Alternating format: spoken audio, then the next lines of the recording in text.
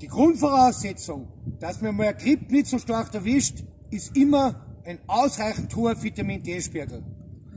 Vitamin C, Zink und eine gesunde Lebensweise. Ich werde euch heute sagen, was Fichtennollen oder Tannennollen für unsere Gesundheit leisten können.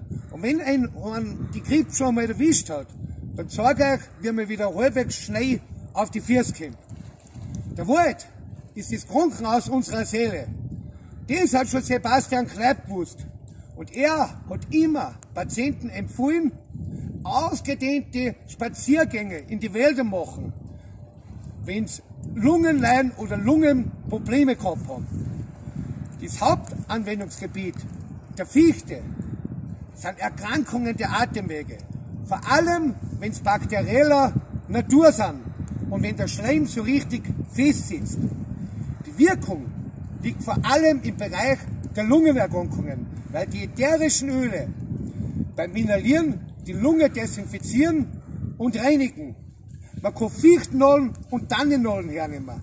Nur wenn ich die Tanne nimm, muss ich die Kenntnis haben, dass es nicht mit der Eibe verwechselt. Weil sonst habt ihr den letzten Tannentee getrunken. Tannen- oder Fichtensud hilft besonders gut bei Husten und Lungenschwäche und vor allem bei Erkältungskrankheiten.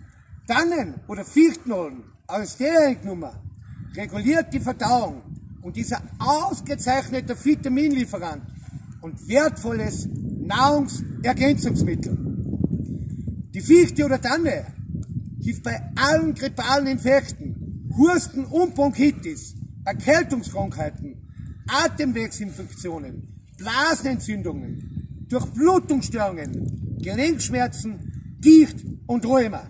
Wie man jetzt einen Fichtennolde macht oder wie man das auch verwenden kann als Saunaaufguss, das zeige ich, wenn ich daheim bin. Bis später. Viert euch. So, jetzt bin ich daheim und jetzt zeige ich euch, wie man die Fichten oder wie man die Tanne für grippale Effekte oder auch wenn ich in Covid-19 habe, anwenden kann. So, ich kann jetzt hergehen und nehme da einfach Fichtennadeln, zwei Esslöffel, ein Teelöffel, die wollen wir einfach reintun. Dann tue ich mir das alles ein bisschen mörsern, dass das Soft rausgeht. Das ist eine Möglichkeit. Und dann brauche ich es nur noch ein da in die Seich und mit heißem Wasser übergießen und 10 Minuten ziehen lassen. So, jetzt gibt's noch eine andere Möglichkeit. So machen wir jetzt einen Tee. Also zwei Teelöffel, also im Bad ausdrucken mit dem Mörser und dann mit heißem Wasser übergießen, 10 Minuten ziehen. Jetzt gibt's aber noch eine Möglichkeit, wo man das noch viel effektiver machen kann.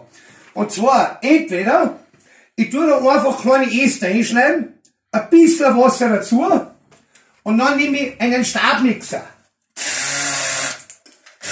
Und dann mixe ich das alles so.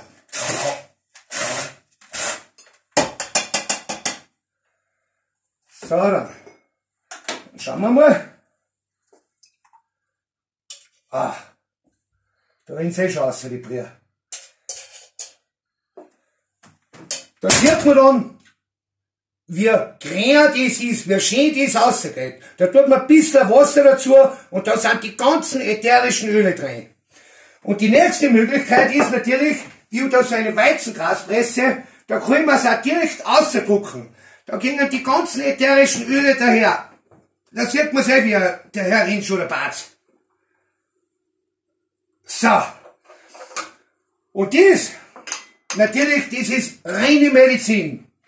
Und da hol ich so einen Vernebler und da leihe ich das rein.